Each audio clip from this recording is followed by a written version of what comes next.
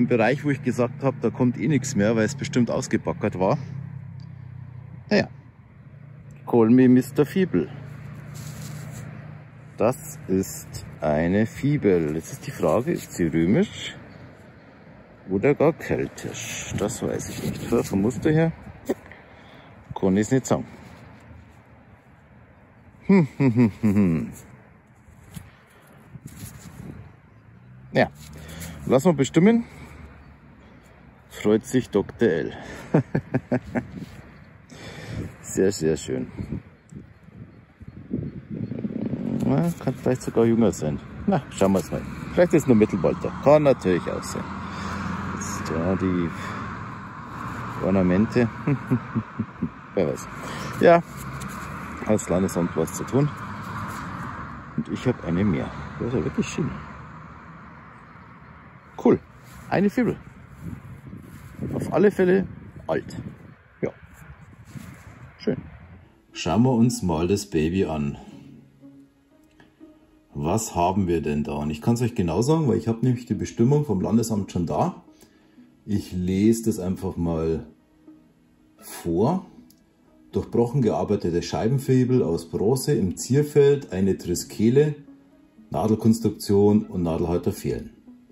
Zweites bis drittes Jahrhundert, also ja, römisch, spätrömisch, wie man es nennen will. Ja, Triskele, das ist quasi hier diese Musterung, kennt man immer wieder mein Wappen, sieht man das. Die hat also hier sogar noch so Ornamente mit drauf. Das ganze Ding ist gegossen. Bronze, ich drehe es mal um. Ja, leider keine Nadel mehr drauf, aber mein Gott. Damit kann ich jetzt wunderbar leben. So sieht das Dingelein aus. Ja, wunderschönes Stück. Ist auch selten. Also man sieht jetzt, ich habe auch keine vergleichbaren Fibeln gefunden. Auch nicht in der englischen Datenbank. Und ja, wirklich feine Sache. Natürlich so ein bisschen keltisch angehaucht. Da haben die das immer mal wieder übernommen. Genau. Eine Scheibenfilet Fibel mit Dresskehle. Unverhofft kommt oft. Fibel Nummer 2. Ja, oberflächlich gelegen, nur so ein bisschen in Dreck drin hat. Oh, oh, oh, oh, oh. Schaut euch das an, da ist sogar noch der Glanz drauf. So, es ist silbert, versilbert. Wenn die das schon können. Eindeutiger Kniefibel, römisch. Der Rest, das ist die Dornrast. Dorn selber fehlt, natürlich auch mit der Spirale. Sehr geil. Sehr, sehr geil. Ja, doch das bessere Feld. Möchte nicht glauben. Super. Einmal Kniefibel, römisch. Eine Kniefibel, römisch, das erkennt man sofort, aber man sieht, da glänzt was. Und ich dachte, es wäre Silber. Warum? Weil es, was sollte sonst so lang so schön glänzen? Ja, ich habe mich auch getäuscht und das erste war der Rino aus dem Sondelfreunde Forum, der hat da gesagt, nee, nee, das ist Zinn. Ich kann es eigentlich immer noch nicht glauben, dass Zinn so lange hält, aber scheint tut es das, denn so wurde die auch bestimmt. Als Kniefibel mit rechteckiger Kopfplatte aus verzinnter Bronze, tralalalala, zweites bis drittes Jahrhundert. Ja, auch schon genau, eckige Kopfplatte, alles ist da. Die Rast natürlich ein bisschen beschädigt, wie das immer ist bei denen, ja, auch eine schöne Sache. Ja. Ist natürlich ja, sehr cool, dass sowas so lang hält. Man möchte es nicht glauben. Ja, eine Kniefibel. Was ein bisschen sauber gemacht, hat aber nicht viel geholfen. Ja, es sieht handgemacht aus, gegossen, hohnackelig schief. Das kann also ohne weiteres älter sein, aber ups. Jetzt ist die Frage, warum dreht sich's nicht um? Nein, wie alt oder was ist jetzt das? Eine durchaus akzeptable Frage. Ich dachte erst, es wäre eine Fibel, kann auch immer eine sein. Aber was? Tja, Gute Frage. Na, sowas ist mir noch nicht unterkommen. Kenne es auch nicht sonst irgendwo her. Aber ich mache es schön sauber und dann blende ich es euch ein. Und dann sehen wir weiter. Ein etwas älteres irgendwas. Cool. Das ist ein Teil eines römischen Zaumzeuges. Ja, das war jetzt nicht einfach zu bestimmen. Ich muss auch da quasi Mitglieder von meiner Facebook-Gruppe danken. Die haben das so halbwegs mitbestimmt und ich habe es dann auch auf oder in der englischen Datenbank gefunden auf finds.org.com. Ich blende euch den ähm, Link oder ich schreibe unten Link rein, da könnt ihr euch anschauen. Also es ist die Datenbank für englische Funde. Und da kann man sowas äh, wunderbar finden. Das Problem ist oftmals nur, wie heißt der Fund auf Englisch? Unter was suche ich da? Da muss man ein bisschen tüfteln, bis man das Richtige raus hat. Was ist jetzt das Besondere? Im ersten Moment habe ich auch nicht gewusst, was ist. Ich hätte es jetzt eher auf Richtung Fibel getan, aber für eine Fibel zwei Ösen hinten, das ist ungewöhnlich bis selten. Ähm, da muss ich sagen, das ist das, was mir am meisten Zeit gekostet hat. Aber die Bestimmung in dem Sinn ist richtig, ähm, weil es eigentlich nur Sinn gibt, dass das Außen als Zierwerk an, am Pferdegeschirr war. Wie man jetzt hier sehen kann, es ist außen zwar extrem massiv, also es könnte auch jetzt auf einer Uniform gewesen sein im ersten Moment, aber Dafür sind die Ösen hier zu mickrig und zu, zu filigran. Also hier der Bereich hier, die Ansätze sind so filigran. Was man schön sehen kann übrigens, ist auch die Patina. Also die ist richtig alt. Das ist, ist auch wirklich toll. Ähm, was man auch sehen kann, dass hier natürlich jetzt keine Riemen durchgegangen sind, sondern richtig, also keine Schnüre, sondern Riemen durchgegangen. Deshalb auch hier diese Halbkreisform. Und hier unten, da kann man es gut sehen, da ist das auch so richtig frei, frei äh, gearbeitet worden, dass halt die Riemen hier durchpassen. Ja, genau. So sieht es aus. Eine wunderschöne Sache. Gibt es nicht oft. Also ich habe da so keine vergleichbaren Stücke bei uns gefunden. Wie gesagt, nur in der englischen Datenbank. Sieht also wirklich toll aus. Ja, schöner römischer Fund. Ja, vielleicht ein bisschen mehr Verzierung wäre schön gewesen, aber ich denke mal, das ist eher ein Gebrauchsgegenstand gewesen, also ein leichter Zierrad halt.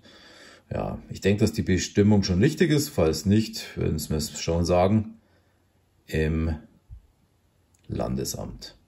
Genau. Das wäre der Fund hier. Einmal, ja, Zaumzeug, Zierwerk. Je später der Abend, desto geiler die Funde. Tja, auf das habe ich jetzt nicht gehofft. Ja, auf Römisch, aber zur Not nehme ich auch Mittelalter.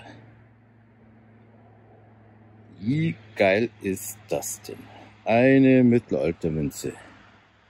Ja, leicht angefressen, ganz klar. Das ist ein Industrieacker. Wie geil ist das denn? Ich erkenne es jetzt momentan nicht. Ich bin auch kein Experte dafür, muss ich ganz ehrlich sagen. Bei uns sind es meistens alle aus Regensburg. Mit dem kann ich es jetzt leider nicht sagen. Sehr, sehr geil.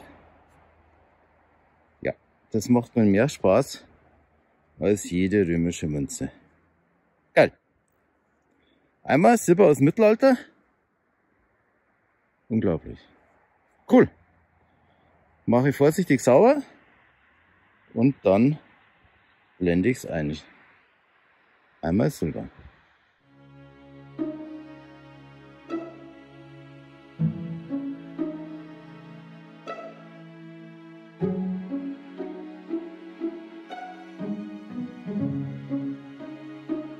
Neuer Tag, neuer Fund. Ein silberner Heiligenanhänger. Na, das sind auch selten. Hinten, ja, das sieht nach Altötting aus. Das sagt mir jetzt gerade nichts, aber was hat er denn in der Hand? Kreuz. Dann, na, Was wird das sein? Irgend so ein Palmbusch? Ne, das lässt sich rausfinden, wer das mal war. Ja, einmal Silber. Da haben wir einen silbernen Heiligenanhänger. Und ja, da habe ich eine Sekunde gebraucht, weil die kannte ich noch nicht. Das ist nämlich eine Nepomuk-Zunge. Man sieht, das ist hier eine Palme. Das ist äh, Zeichen für einen Märtyrer, Kreuz. Ja, und Zungenform bleibt nur Nepomuk übrig. Und hinten hm, eine Mariendarstellung mit Kind. Und das ist wahrscheinlich aus Mariazell, ja, österreichischer Wallfahrtsort. Und das ganze Ding ist aus Silber. Ja, recht schön gefertigt. Schöne Sache. Jetzt ist die Frage. ich sag's euch, wie ich denke. Porno oder nicht Porno? Das ist die Frage. Ist das eine Gewandnadel oder ist es Stricknadel von der Bayerin? Ich weiß es nicht. Was ich glaube zu hoffen, das wisst ihr. Ich kann es nicht sagen. Geht ins Landesamt. Einmal, dann ist offen. Und jetzt zeige ich euch erstmal, um was es sich da gedreht hat. Jetzt möchte ich das bloß schauen, dass ich es in meiner Lichtbox also hinbekomme, wie ich mir das vorstelle. Ja, was ist jetzt das? Ich hätte erst gedacht, ja, römisch, klar, weil so viele römische Sachen da rumliegen, aber da habe ich mich getäuscht. Es ist besser. Und zwar, es ist eine, jetzt muss ich mal schauen, dass ich das richtig hinbekomme. Es ist eine Gewand- oder Haarnadel mit stempelförmigem Kopf. Trifft ziemlich. Ähm, Datierung, mittlere Bronzezeit also weit vor den Römern. Und letztendlich heißt es, dass diese Nadel ungefähr 3500 Jahre alt ist. Ja, das ist natürlich nochmal ganz eine andere Nummer. Und da freue ich mich natürlich extremst. Ja, es ist wirklich so. Natürlich vom Flug erwischt, aber noch in einem recht guten Zustand und sehenswert. Naja, Mal sehen, ob es das Erdinger Museum haben will. Da müssen wir natürlich verhandeln. Und von meiner Seite ist alles gemacht, gemeldet, eingemessen und so weiter. Ja, einmal eine Haarnadel aus der mittleren Bronzezeit. Und es geht dahin. Eine römische Fibel. Jo. Da ist noch die Rast zu sehen. Äh, Dorn ist nichts mehr da. Sehen wir mal das Baby. Ja, so ein bisschen wie eine Trompetenfibel sieht es ja aus. Man sieht nur ein bisschen die, die Anklänge. Naja, kann auch quasi versucht sein nachgebaut zu gewesen zu sein von irgendwelchen lokalen Künstlern, die da nicht ganz so bewandert waren, weil von der Verarbeitung her ist jetzt nicht zu vergleichen mit den anderen Filmen, was ich habe. Aber man sieht ungefähr ja, den Ursprung. Geht ins Landesamt, auf alle Fälle. Da bin ich nämlich selber gespannt drauf, wie oder was das ist. Aber ich denke mal, ich liege mit meiner Bestimmung gar nicht so weit weg. Ja, eine römische Fibel.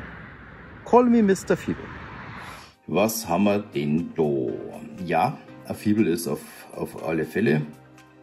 Und das war auch schon oder ist auch schon gemeldet worden im, im Landesamt. Und da lag ich auch richtig mit meiner ersten Bestimmung. Fast richtig, sagen wir mal so. das ist eine durchbrochen gearbeitete Scheibenfibel. Okay, gut. Kupferlegierung, ja gut, das kann ich auch sagen, so untergranzt wie das ist. Äh, Fischblasenornamentik. Mhm. Okay, ich hätte es eher in Richtung Trompeten. Äh, weil das sind ja diese klassischen Trompetenformen, aber gut, wenn das Fischblase ist, dann soll es Fischblase sein. Ich bin kein Experte. Und Alter, zweites, drittes Jahrhundert nach Christus. Ja, auch gute 1700 Jahre alt. Immerhin.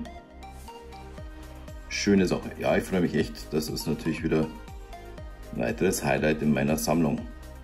Ich muss schauen, ob es das Erdinger Museum haben will. Dann kriegen die.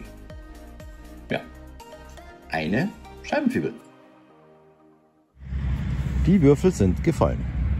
Der Würfel ist gefallen. Einen Bleiwürfel habe ich da. Und das Besondere, er hat sieben Seiten oder sieben Augen. Was ist denn das? Ja, so kann man auch bescheißen.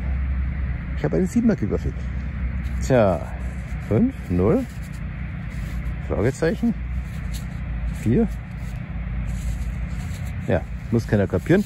Die gab es relativ lang, aber sind auch relativ alt.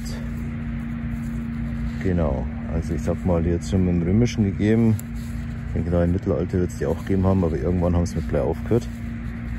Na, schauen wir mal, ob wir das Ding zum Bestimmen kriegen. Einmal der siebenseitige Würfel. Ja, an Lärm muss ich entschuldigen, ich bin zu nah an der Trocknungsanlage. Da haben wir einen Zunftgürtel. Ja, oben ist die Maurerkelle, unten Zirkel, Winkel und was auch immer.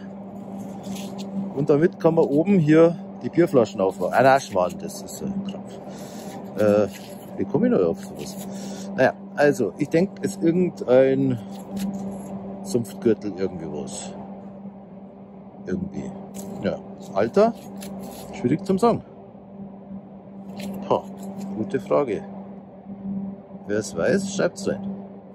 Jetzt habe ich mal die Gürtelschnalle, ich denke mal, es ist eine, sauber gemacht und jetzt schauen wir mal, ob man das auch richtig erkennen kann hier. Also, wir haben das klassische Maurerzeichen und wir haben einen Löwen. Ja, so vom Duktus, von der Art her, wie das graviert ist, ähnlich wie bei den Knöpfen, die man immer wieder mal findet. Ja, also schon handwerklich. Ich gehe mal näher ein bisschen. Ja, genau, kann man es gut sehen handwerklich und auch künstlerisch eigentlich sehr gut gemacht. Man kann also nichts dagegen sagen. Also auch die Feinheiten irgendwo beim Zirkel und so weiter, wie das Scharnier, sehr, sehr schön. Was es genau war, ja, ich denke, es war Gürtelschnalle. Wenn es einer denn besser weiß, dann soll er es mir sagen, weil Informationen findet man da keine im Netz. Ja, eine Gürtelschnalle. So, lala, jetzt hat mich langsam der Dampf hier verlassen. Ich wollte eigentlich schon Richtung Auto gehen. Moralisch war ich am Boden, keine Ahnung. Ist eigentlich zu kalt. Aber wie es immer ist, in dem Moment kommt was Gescheites. Eine römische Silbermünze. Wie geil ist das denn? Wie geil ist das denn? Das ist mein erster römischer Silberling. Was es genau ist, weiß ich nicht.